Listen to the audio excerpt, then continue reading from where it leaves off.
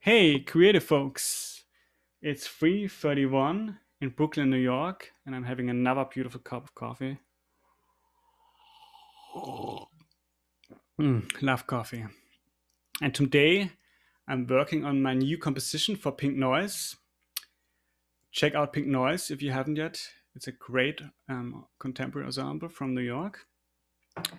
And since we talked so much about modular synths and how to combine it with computer programming, I thought to show you a little bit how I compose and how I actually kind of use this idea of modules. Just like here with the modular synths, where you have different sound modules. You, and if you combine it in different ways with those patch cables, you get very different results. And this idea inspired me to do something here in Max MSP. Let's go right into it. Here.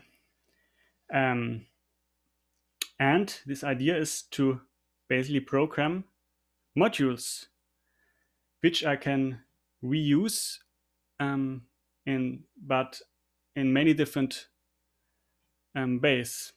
So I always get very different results, wildly different results, and depending on what I want to compose and how I combine these modules, um, I can continue to use them and reuse them in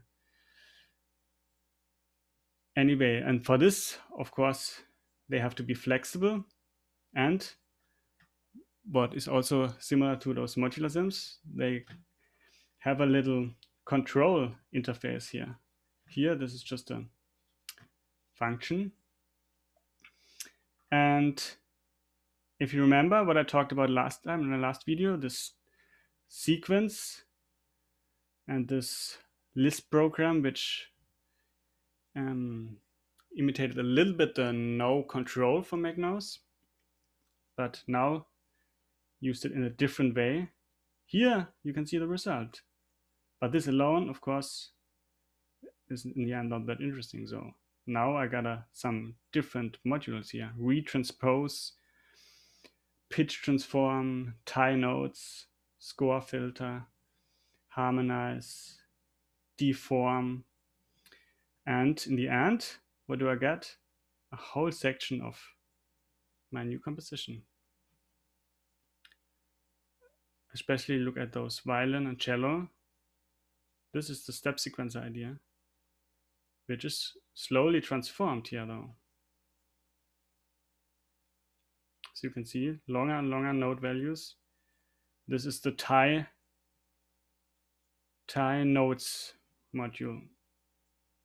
And just to show you how great and magic this is, let's just generate a new version here.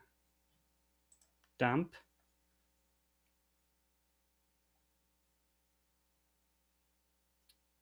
Gotta wait a little bit. Because there's a lot to calculate here. And we got a new version. A little different, but with the same structure and idea. Great. Enough for today.